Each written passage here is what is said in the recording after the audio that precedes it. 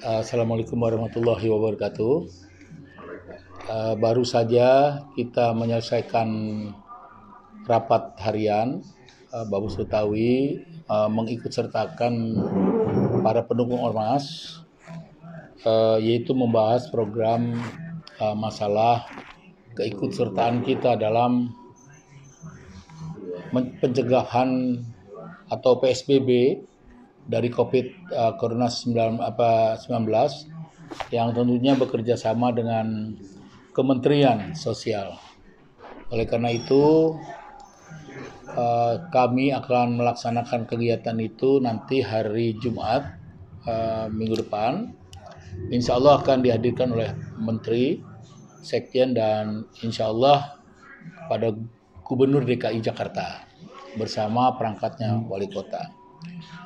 Tadi ada uh, perkembangan yang uh, sangat luar biasa dan kami gembira sekali semua, yaitu adanya berita dari Bamus Betawi, Bamus Betawi atau saudara-saudara kita yang mengklaim uh, pada hasil musyawarah Bamus Betawi pada tanggal 30 September 2018 di Ancol. Nah, mereka selama ini klaim bahwa mereka lah yang kemudian dianggap kita uh, melakukan pemecah belahan terhadap organisasi Bom Setawi. Tapi kalau kita mengevaluasi keberadaan semuanya, kita mubes tanggal 1 sampai tanggal 3 September uh, 2018 yang juga dibuka oleh Bapak Gubernur DKI, yaitu Bapak Anies Rasid Baswedan, di balai kota yang kemudian juga uh, kami teruskan uh, di Hotel Twin pada tanggal 2 dan tanggal 3. Uh, hasilnya adalah uh, terpilihnya Ketua Majlis Adat Bang Haji Nuri Tahir, kemudian saya selaku Ketua Umum Bang Setawi.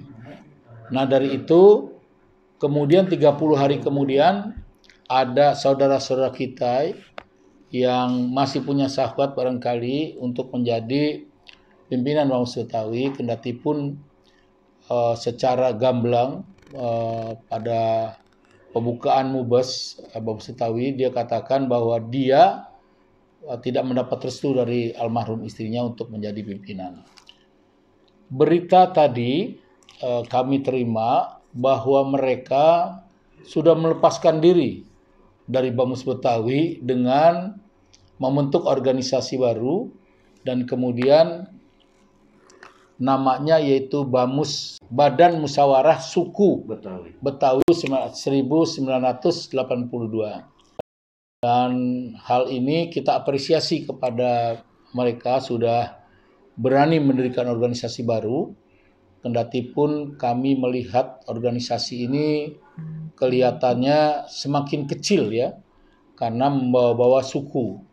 Artinya kalau suku itu kental dengan masalah primordial dan tidak cocok dengan kehidupan di masyarakat Betawi, masyarakat Jakarta khususnya karena Jakarta sebagai ibu kota negara dan uh, daerahnya ada, ada, adalah uh, daerah urban yang kemudian orang Betawi di sana sudah melaksanakan perkawinan asimilasi yang begitu panjang ya dari tahun ke tahun bahkan barangkali kalau dihitung itu sudah ratusan tahun lebih. Nah, kami bersyukur kepada Allah tadi bersama-sama berdoa membacakan Al-Fatihah pertama kepada pendiri pendiri Bamus Betawi yang dulu notabene organisasi Betawi yaitu ada 17 dan pada waktu itu pada saat ingin melaksanakan eh, apa istilahnya halal bihalal organisasi 11 organisasi Betawi itu melaksanakan kegiatan halal bihalal dan kemudian mengundang gubernur gubernur pada waktu itu Cokro Pranolo yang kemudian uh, dia kebingungan dan menyarankan agar kita membuat satu wadah namanya yaitu Badan Musyawarah Organisasi Bamus Betawi pada waktu itu. Akhirnya dalam perjalanan kemudian namanya eh, pada tahun 1982 namanya jadi Badan Musyawarah Bamus Betawi. Di mana sekarang pendiri-pendiri Bamus Betawi yang ada dulu mendirikan Bamus Betawi itu ada di barisan kita sesuai dengan SK Kementerian Hukum dan HAM nomor AHU 004530.AH 0107 tahun 2019. Nah, dari itu semua pendiri-pendiri itu masih bersama-sama kami. Kalau e, mereka klaim bahwa musyawarah Bamus suku Betawi 1982 itu klaim mereka yang kemudian pendiri-pendiri Bamus pada tahun 1982 itu adalah memang sama kami. Kemarin sempat bertemu dengan salah satu tokoh, saya bilang tidak bakal bisa uh, membuat surat keputusan sama dengan dengan Bamus uh, musyawarah Bamus Betawi yang ada. Kenapa saya katakan yang pertama itu sistem online, yang kedua itu berdasarkan undang-undang tidak boleh ada lagi dua nama di Bamus Betawi. Nah, oleh karena itu saya apresiasi kepada mereka semua, jalankanlah organisasi ini. Semoga organisasi ini menjadi baik dan uh, saya yakin sekali bahwa organisasi ini menutup diri seolah-olah mereka klaim bahwa ini adalah suku uh, Betawi asli tetapi dia lupa bahwa asimilasi yang ada sekarang perkawinan asimilasi ini menjadikan uh, mereka sebenarnya masing-masing pribadi ada yang orang Cirebon ada yang dulu emaknya di Kerawang yang dulu juga orang Banten dan seterusnya. Saya Haji Lulung dari awal saya sudah katakan bahwa ada oknum-oknum mereka yang tidak punya rekam jejak ya di kepengurusan Mam Sutawi. Maka dari itu mudah sekali dia melakukan perpecahan kepada organisasi yang dicintai oleh orang-orang atau masyarakat Betawi ini. Dan juga kedua, saya sudah berterus terang semenjak saya masuk Bamus Betawi, saya juga adalah hasil perkawinan dari asimilasi. Kakek saya seorang dari Banten asli, namanya Tubagus Silang. Dan nenek saya adalah orang Tenabang asli, namanya Empok Jainab. Dimakamkan hari ini di uh, pekuburan karet uh, Bipak dan itu ditumpuk namanya jelas gitu. Nah ini satu bukti sejarah dan cikal bakal bahwa perkawinan asimilasi ini dari dulu apa yang sekarang ada sama dia, dia mau bicara primordial, silakan saja. Jangan menutup pintu dengan masyarakat yang ada di Betawi. Hadir di sini Bang Rahmat, ya selaku orang Betawi dan juga beliau adalah uh, salah satu waketum bidang uh, organisasi.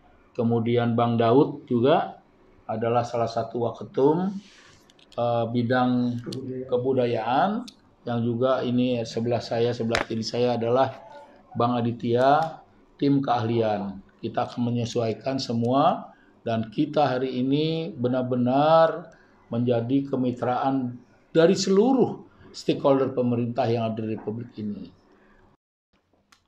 Ya, dari perkawinan asimilasi boleh kita evaluasi banyak daerah-daerah Betawi contoh ya nama-nama e, misalkan ada Kampung Bugis, ada Kampung Makassar, kemudian ada Jalan Irian.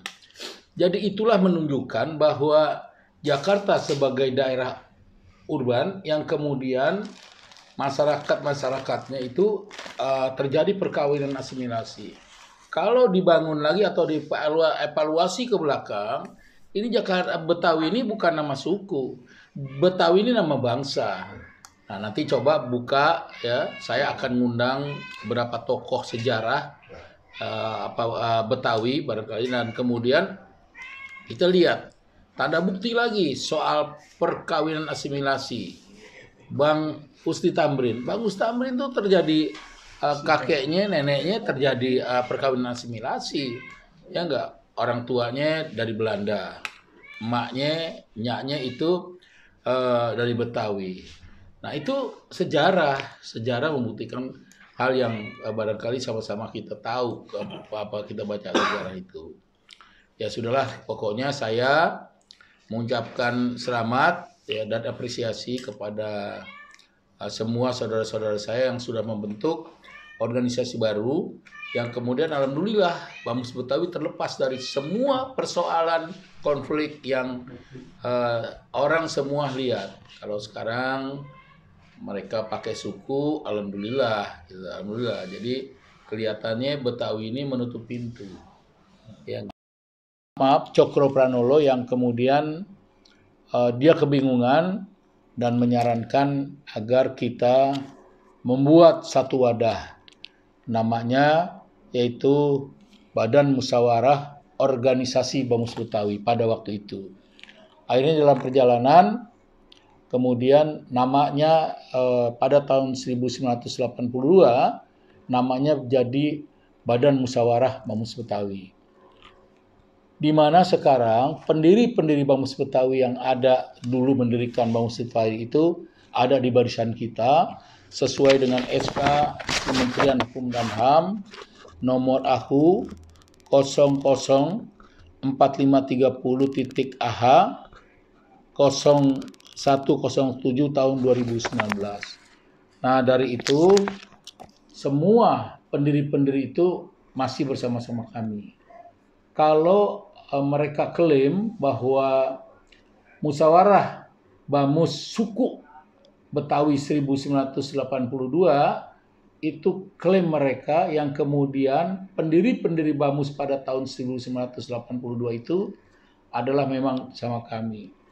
Kemarin sempat bertemu dengan salah satu tokoh, saya bilang tidak bakal bisa uh, membuat surat keputusan sama dengan dengan Bamus uh, Bamus Betawi yang ada. Kenapa saya katakan yang pertama itu sistem online, yang kedua itu berdasarkan undang-undang tidak boleh ada lagi dua nama di Bamus Betawi. Nah, oleh karena itu saya apresiasi kepada mereka semua, jalankanlah organisasi ini. Semoga organisasi ini menjadi baik dan uh, saya yakin sekali bahwa organisasi ini menutup diri seolah-olah mereka klaim bahwa ini adalah suku Betawi asli tetapi dia lupa bahwa asimilasi yang ada sekarang perkawinan asimilasi ini menjadikan uh, mereka sebenarnya masing-masing pribadi ada yang orang Cirebon ada yang dulu emaknya di Kerawang yang dulu juga orang Banten dan seterusnya. Saya Haji Lulung dari awal saya sudah katakan bahwa ada oknum-oknum mereka yang tidak punya rekam jejak ya di kepengurusan Mamus Betawi. Maka dari itu mudah sekali dia melakukan perpecahan kepada organisasi yang dicintai oleh orang-orang atau masyarakat Betawi ini. Dan juga kedua, saya sudah berterus terang semenjak saya masuk Bamus Betawi, saya juga adalah hasil perkawinan dari asimilasi.